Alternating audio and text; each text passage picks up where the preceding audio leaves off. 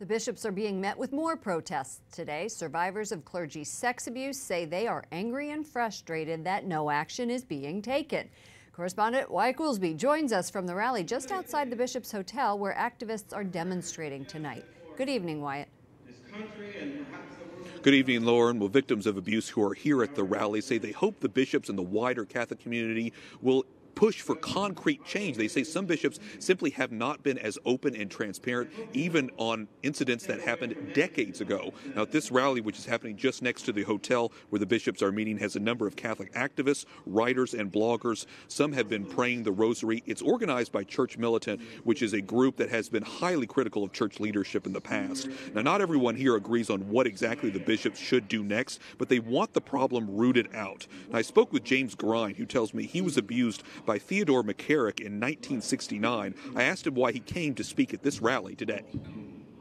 There are many people who are sick and suffering about the Catholic Church, and it's my turn to step up and say that abuse has to stop now.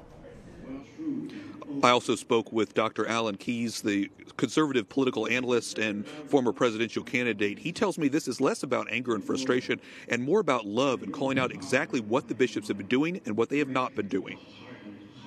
People who are moving their mouths, their lips say words of comfort and of repentance, but their actions simply don't match.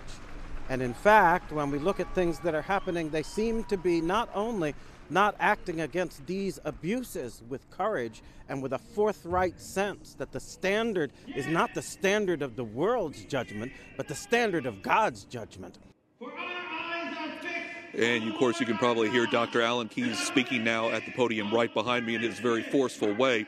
The, many of these protesters who we notice here and who I spoke to are in support of Archbishop Carlo Vigano. He is, of course, the former U.S. nuncio who has been calling out some of these allegations and actually called for Pope Francis to resign. Many of them have buttons that say Vigano on it and also t shirts as well. Lauren? Wyatt, Archbishop Vigano did send a letter to U.S. bishops today. What was his message?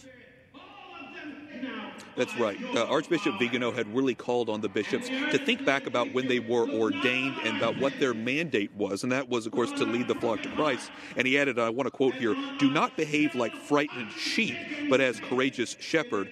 And of course, Vigano has issued a number of letters in recent months talking about the church scandal. We've heard similar things here from victims and from supporters of victims' families who are saying that the shepherds do need to smell like their sheep.